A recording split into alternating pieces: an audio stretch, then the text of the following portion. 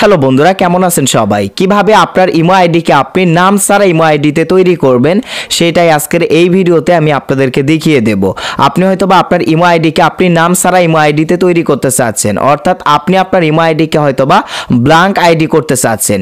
তো আপনার ইমো আইডিকে আপনি ব্ল্যাঙ্ক আইডিতে কীভাবে করবেন, সেটাই আজকের এই ভিডিওতে আমি আপনাদেরকে দেখিয়ে দেব। সম্পূর্ণ ভিডিওটি মনোযোগ সহকারে দেখতে থাকুন। ভিডিওটি শুরু করার আগে ছোট্ট একটা রিকোয়েস্ট আমাদের চ্যানেলে নতুন হয়ে থাকলে অবশ্যই আমাদের চ্যানেলটিকে সাবস্ক্রাইব করে দিবেন।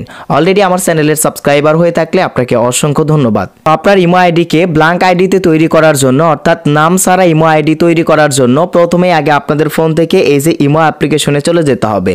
তো আপনি আপনার ফোন থেকে ইমো অ্যাপ্লিকেশন ওপেন করবেন। ইমো অ্যাপ্লিকেশন ওপেন করে দেওয়ার পর এরকম ইন্টারফেস চলে আসবে। এখন এই যে আপনার ইমো প্রোফাইল পিকের ওপর ক্লিক করে দেবেন। দেওয়ার পর সেটিংসের অপশনগুলো চলে আসবে। এখন সবার উপরে আপনি এই যে আপনার ইমো আইডির নাম দেখতে পারবেন। জাস্ট আপনি এই নামের উপর কি করবেন, সবার প্রথমে এইটার উপর ক্লিক করে দিবেন।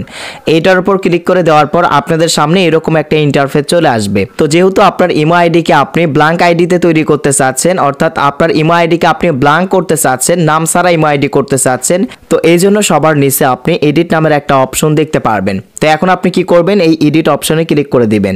এডিট অপশনে ক্লিক করে দেওয়ার পর আপনাদের সামনে এরকম একটা ইন্টারফেস চলে আসবে। এখন আপনি দ্বিতীয় নাম্বার ইউজার নামের একটা অপশন এখানে দেখতে পারবেন। তো এখন আপনি ইউজার নাম এই অপশনটিতে কি করবেন? ক্লিক করে দিবেন।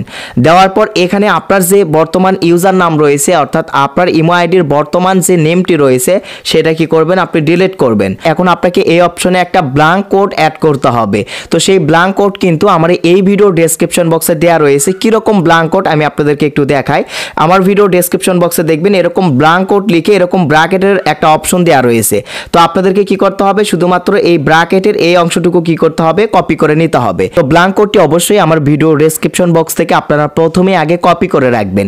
আমার ভিডিও ডেসক্রিপশন বক্সে চলে গেলে এই যে ব্ল্যাঙ্ক কোড লিখে এই যে এরকম একটা অপশন থাকবে। আমি যে অপশনটিতে এখানে টিক মার্ক দিয়ে রেখেছি, এই যে এই অপশনটুকু কি করবেন? প্রথমে আগে আপনারা কি করবেন? আপনাদের নোটপ্যাডে কপি করে রাখবেন। সো কপি করে রাখার পর এখন আপনাদেরকে কি করতে হবে? এই দুই ব্র্যাকেটের মাঝখানের যে ফাঁকা অংশটুকু রয়েছে মানে এই যে এখানে দুই ব্র্যাকেটের মাঝখানে, এই যে এই দুই ব্র্যাকেটের মাঝখানে যে ফাঁকা অংশটুকু রয়েছে, এই ফাঁকা অংশটুকুকেই শুধুমাত্র আপনাকে এখান থেকে কপি করে নিতে হবে। এখানে আমি কীভাবে কপি করতেছি? একটু ভালোভাবে লক্ষ্য করুন। আপনারাও এই ব্ল্যাঙ্ক কোডটি আমার মতো করে কিন্তু কপি করবেন আপনাদের এখান থেকে। তো গাইস অবশ্যই এই যে আমার মতো করে এই দুই ব্র্যাকেটের মাঝখানের অংশটুকুকে কি করবেন? আপনি কপি করবেন। মানে ব্র্যাকেট কপি করলে কিন্তু হবে না। দুই ব্র্যাকেটের মাঝখানের যে ফাঁকা অংশটুকু রয়েছে, এটাই হচ্ছে ব্ল্যাঙ্ক কোড এইটুকু কি করবেন? এই যে আমার মতো করে আপনারা কি করবেন?